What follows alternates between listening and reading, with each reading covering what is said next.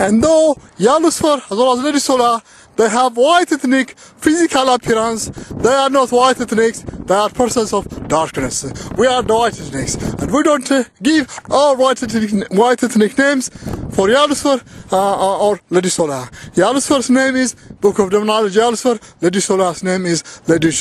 We don't give any white ethnic, name for them, no any other non-white ethnic.